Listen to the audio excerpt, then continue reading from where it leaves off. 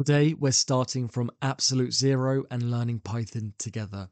Whether you've never coded before or you're just curious about Python, this is the perfect place to begin. And by the end of this video, you'll know how to install Python, set up an IDE, and what that even means, and understand the basics to kickstart your coding journey. So let's dive in. First of all, you'll want to install Python, and you do that by going over to python.org. Once you're here, if you go over to downloads, you can find the latest version recommended for your system. I'm on Windows, so I can press this. If you are on Mac, just click that and find the very latest one. Now, once you've downloaded it, I have already got it installed, but I'll follow along the steps with you. Is you'll want to open up this installer. Importantly, make sure you click add to path down here and then press install now. But let's talk about Python, because it comes with its own built-in editor called the IDLE. Now, if you want to use this, go down to your taskbar here and search for it. What this is, is a very lightweight editor for writing and running Python code. We're going to get a little bit ahead of ourselves and just show you how to run some code, but let's create a new file and then try this. Print This is the very first thing you'll learn to run in Python. Once we've saved the file, if we go to run module, you'll see we get hello world. Now, this isn't the best environment and it's a little bit roundabout. Now, idle is a great place to experiment with code, but for larger projects, you'll want something more powerful. That's where PyCharm comes in. So let's set up PyCharm, a professional grade tool that makes writing Python code easier and more organized. Now, make sure you head over to the PyCharm website on JetBrains. You'll find that here. It should be the first link. And again, all of this will be linked in the description as well. It's completely free if you go for the community edition, which is what we'll be doing today. So let's download. And not the professional one, but we'll actually want to scroll down and get the community edition. And then again, press download and follow the steps. This is what you'll be presented with when you open PyCharm for the very first time. What we'll want to do is head over and press create a new project or new project and we'll want to give it a name. Now I'll save that to a location on my desktop called PyCharm. This is going to create a folder for you to save all your projects. I'm just going to call this personal project Python project or maybe we'll call it tutorial. Once we've chosen a location, we can actually then press create. Now, this is the directory here. You can see you have the folder. Alongside that, you have all your different scripts as well inside this virtual environment. Now, I'm going to right click here and I'm going to create a new Python file. And I'm just going to call it file1. Once I've done that, I'm ready to go. You can see that's inside here. So let's begin. As I mentioned earlier, we're going to start with our first ever program. Let's write that here. We're going to type print and I'll zoom in for you as well.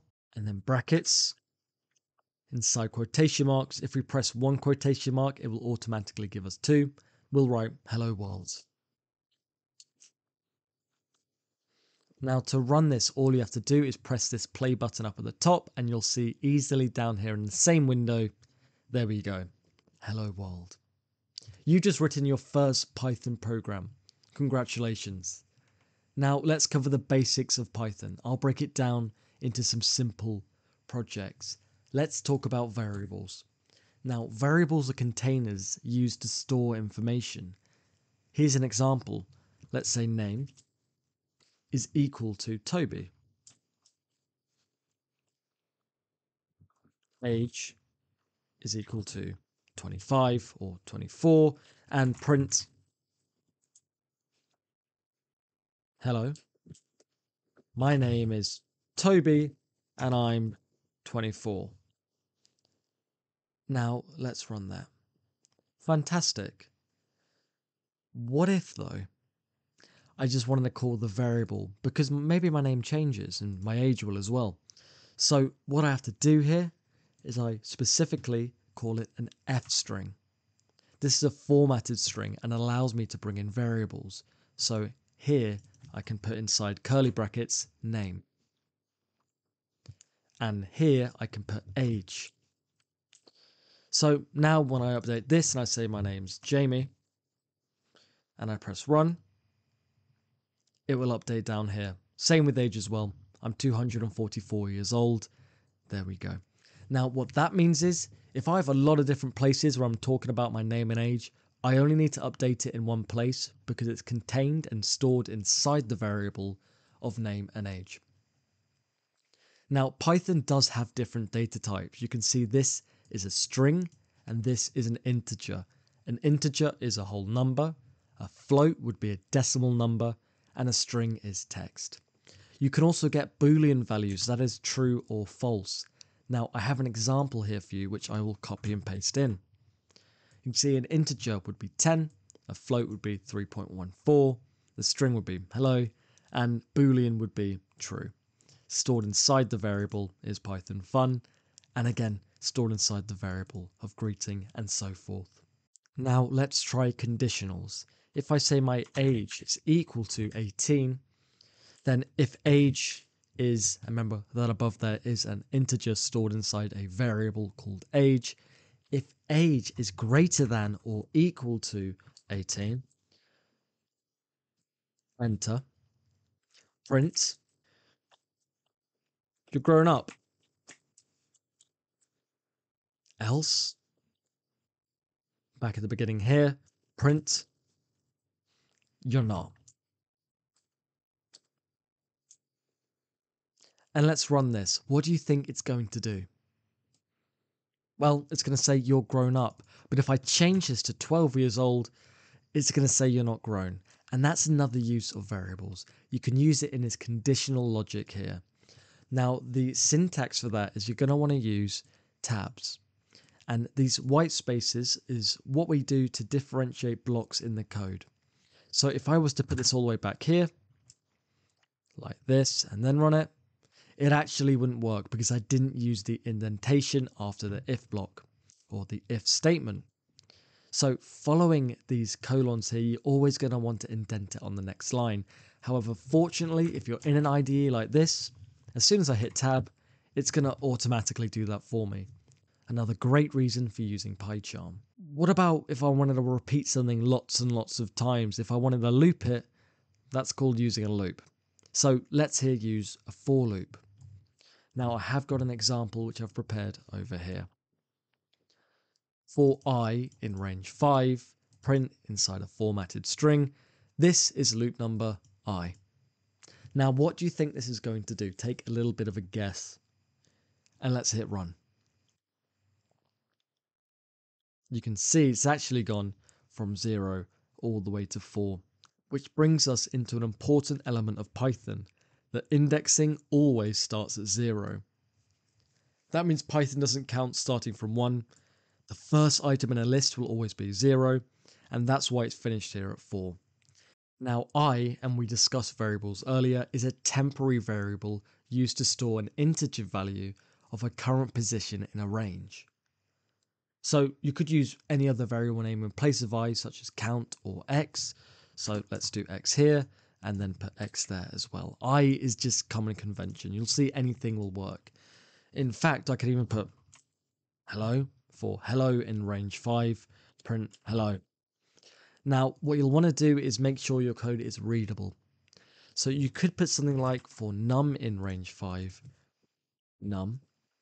But again, I is just convention.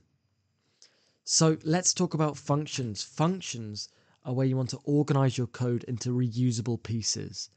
Let's create one. Now, every time you start a function, you start it with def, D-E-F. So you're defining a function. And then the name of it, we're going to call it greet. Now, inside this function, I'm going to want to call name. Colon, next line. We're actually going to print inside an F string. We should be quite familiar with this now although don't worry if you're not.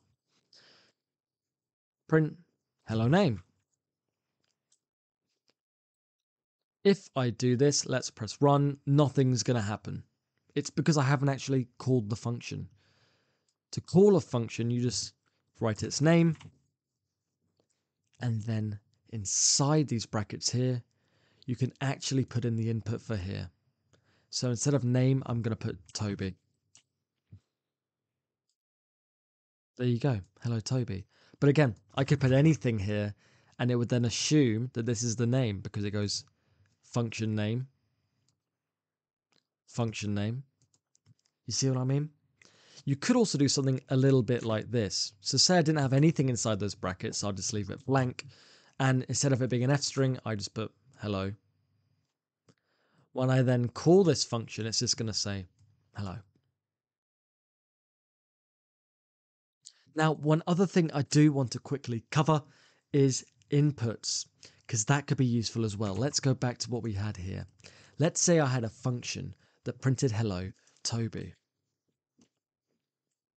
And again, that put that inside a formatted F string. What I want to do first is get an input. So if I say that someone's name is equal to an input of what is your name, and then call that name here, and then call the function. It'll ask me, what's your name? Toby. Hello, Toby. You've learned how to install Python, set up an IDE, and some fundamental programming concepts. What I will say is I have a bunch of materials taking you from absolute beginner, covering a lot more than we have today, all the way to machine learning and visualization expert using data analysis, and you can even grab the bundle for a massive discount. Now let's dive into more foundational Python features, exploring powerful libraries like pandas, and even tackling some beginner projects. So let's jump right in. So let's start with lists. Think of lists as a way to store multiple items in one place. For example, we could store the list in a variable called fruits. Now, what we want to do here, the syntax is to use square brackets. So inside of fruits, rather than just storing one thing, such as apple, I want to store apple, banana, if we can spell that correctly, banana, and then also cherry as well. Now, if I was to then print fruits out just like this, it would give me each and every single one of these. So let me just print fruits. And you can see at the bottom of my screen, I've got the apple, banana, and cherry. Now, what I could also do is index it. Remember, the first item in the index is always zero. So if inside square brackets, just like there is here, I put 0 and run it, I'll get just apple at the bottom. You can also loop through a list. So for fruit in fruits, we want to print fruit, which sounds quite convoluted, but it will be fine. What do you think that would do? Make sure that we give it the same variable name. Now, what it's done here is it's actually listed it for all the items in this list it's listed the list that many times. So that's what its three outputs down there. So that's looping through a list, but you could also modify it. Let's say we wanted to append the fruits list. All we would do is we would call it and then do the dot append method. Inside here, adding orange. And now when we do print fruits, just like this, you can see we have all the same stuff except equally we have orange at the end. Next, we want to talk about dictionaries. These are like labeled lists and they're perfect for storing data with key value pairs. For example, if we had a variable called person, this time rather than square brackets like a list, a dictionary is in curly brackets. We want to put name, colon, Toby, again inside quotation marks. And then again, we'll put age, colon, 25. So now if we were to print person here, but only call the name, it would also output the relevant item of Toby. If we were to call the age, it would output 25. You could also add new data like this. So if I went down here and I said person hobby, is equal to watching videos. Then I print the person again. You can see down here we have watching videos added to the dictionary. Fantastic. So just continuing, and again, I do wanted to show you that it would work just like this as well. So let's put hobby, and we'll get the corresponding output watching videos. Let's talk about tuples and set. Now tuples and sets are two types of data which are worth knowing about. Tuples are like lists but they're immutable. That means they can't be changed. Sets are an unordered collection with no duplicates. So what does that mean? Well, let's say I have a tuple called my tuple. Let's do this within curly brackets, not square, not curly, sorry, ordinary brackets. And inside here, let's put one, two, and three. Then if we were to print the tuple here, my, and I can press the tab to auto complete that, calling the first item in that list, what do you think it's going to output? Well, it's going to be 2, because again, it starts at 0. Now that's a tuple, again, because it's immutable. You can't then add anything to it. But if we were to look at my set, again, we'll call it my set, this one is inside curly brackets, one, two, three, and three. If we were then to print my set, let me hit tab, it'll actually only give three once, as you'll see down here at the bottom. Again, because it will not store duplicates. Next, we want to talk about importing libraries. Now, Python has libraries, and these are pre-written code blocks that make tasks easier. So let's take a look at one example, which is pandas, heavily used in data analysis. Now, the way to install a library is heading all the way down here to the terminal. Now, inside this terminal, within this virtual environment, what you'll want to type is pip for pip, followed by install, and then the name of the library, which is pandas. Let's hit enter. And you'll see it'll take a moment, but what it's doing is it's installing that so we can access it in our file.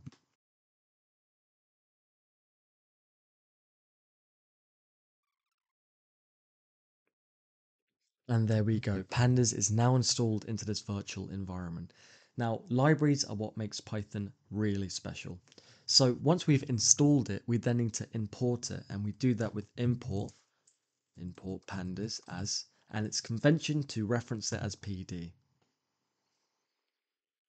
By doing that, we're then able to use the library. So one example would be reading a data set. So say we had a variable called data frame or df for short. That could be assigned to pd or pandas dot read underscore or underscore excel and you can see it gives you all the available options here. Inside brackets, the name of your Excel file uh, let's say it's called data.xlsx, and then hit run.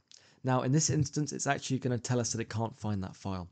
That's because we don't have a file called that. That's how you would work with it. And we use this a lot in my pandas course. I have a whole workbook dedicated to it because it's so crucial for data analytics, but we won't be getting into that today. There are some inbuilt libraries such as math. If we were to import math, we could then do something, for example, print the square root of 16. So let's do that here. Print math, and then call the method square root of 16.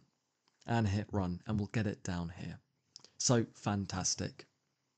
Let's scroll up a little bit. There we go, 4. Okay, so let's move on here as well. Now we've briefly covered quite a lot of fundamental elements of Python. There's a few more things to go before we get to the projects. So let's look at error handling. Try and except blocks help you gracefully manage any mistakes that you've made. So let's give you one example here.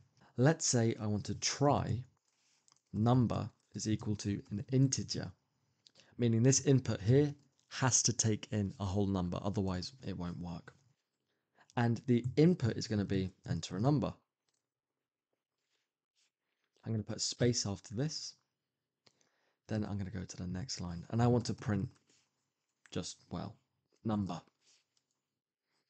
Except if I did this and I was to enter a number, let's see what that error is here. Ah, because I didn't add my except block. We then want to add except here as well. But before we get to that, let's just do this like this. So if I was to run this and then type in a number such as 3 and hit run, it will say 3. Great. But if I was to run it and write a word, it's going to have an error. So this is an instance where we would actually want to have this try block. So we can add an except condition. We can say except if there's a value error, then print uh, uh, uh, you made a mistake. Or whatever you'd like to say. You know those messages you get when you're trying to create a password or something? Yeah, we get those all the time. Um, let's see what the issue is here, because it did actually say there was a problem. There was an issue with the accept block. So, it's because I spelled it wrong. Accept. There we go. So now let's put in any random gibberish and it's going to say, look, you've made a mistake. And now with all of that out of the way, there are a few more elements like automation, reading and writing to files, but we cover that in my more complex videos. We're going to look at a beginner project. So what I want to do for you today is make a basic calculator and then we'll do a to-do list app. And then if you want to look at some data analysis with pandas, again, that's all in my workbooks and in other videos as well. So let's get right to it. I'm going to create a function called calculator. Now what calculator is going to do, it's not going to store anything in it, but it's going to hold a few variables. One being operation, and this is going to be assigned to an input, which just says, you know, choose whether you want to add, subtract, multiply, or divide. So choose add, subtract, multiply, or divide. There we go. Then I'm going to call num1 and it's going to be a float because that means it can be a decimal number. It doesn't have to be an integer. They might put 3.5, for example. It is going to be an input, and it's going to say, you know, enter the first number. And then again, what I can do is just copy and paste this entire line, but just change it so it becomes num2. Enter the next number. Brilliant. Now, again, still within this indentation because it's in the same block of code, we're going to want to say if operation is equal to, not a sign. So these are different things.